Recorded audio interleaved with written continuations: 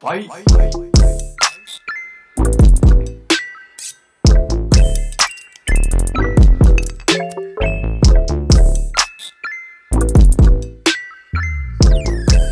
Hey guys, what's going on? It's Karl here, back with an episode that's fairly new on my end. Just the other week, I got back from China, which was actually my first time there. I had the chance to check out the brand new Vivo Nex 3 5G.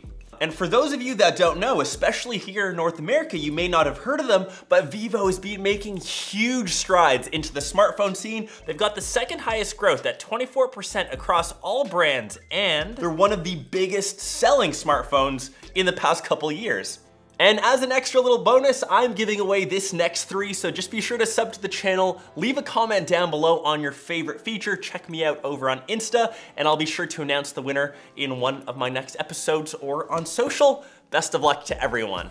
And the big thing coming to this guy, of course, it's in the name, is 5G. And although you don't have many options, especially here, Canada, the US, 5G is becoming the next standard in smartphones. If you've seen MKBHD's video, you'll know that 5G is limited by a couple things, the first being reception. Vivo tackles that, it's the first phone with six antennas. So no matter which orientation you're holding the phone in, whether it's portrait, landscape, you're always getting that high speed connectivity. And the second thing being battery as 5G takes a big strain on the phone. That's why Vivo's included a massive 4500 milliamp hour battery in this guy, easily lasting you the entire day. Even with those high speeds, this guy's got you covered. The second big thing, which I actually think is more important, is the display. And if you take a look at this guy, this has a screen to body ratio of 99.6. That is the highest screen to body ratio out of any phone that we've seen, and it uses the waterfall display, which is becoming a bit more prevalent,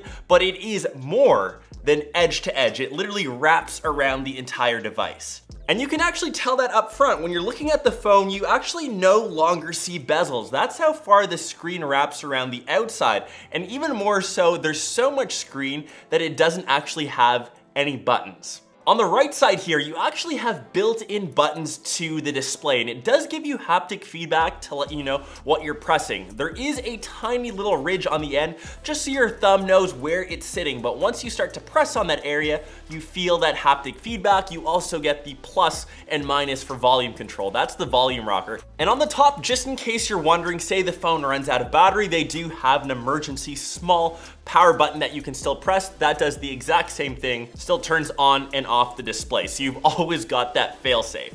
And when you say compare that to the Note 10 Plus, probably the most well-known Android smartphone, one of the flagships, the Nex 3 screen crushes it. It's almost comparing, say, the iPhone to the Note. The iPhone's bezels are atrocious. When you compare these guys, the Note kind of dims in comparison, and this guy's got the truest screen to body ratio. It's kind of nuts. You gotta see it firsthand to believe it. And as with most displays, you've got a ton of palm rejection software because you technically are holding a bit of the display when you've got in one hand. I haven't found that it's triggered or misfired too many unnecessary touches. Unnecessary touches. The third major thing, which you actually kind of see and get a hint of over on the box and of course on the back, is the camera of this guy. This is another beast. They seem to throw in the biggest specs into this guy. It's got a triple lens setup. The main camera has got a 64 megapixel sensor. When you say compare that to the iPhone, which has been getting a lot of buzz, this guy only has a 12 megapixel sensor times three. Like I said, 64 megapixel beast. They also have an ultra wide as well as a telephoto photo. Being a big tourist out in Shanghai was taking a ton of pics. I'll let you guys be the judge, but I found that dynamic range was great, color reproduction was also good. My favorite focal range still, of course, had to be that ultra wide cam. I'm a big fan of that. Let me know your thoughts.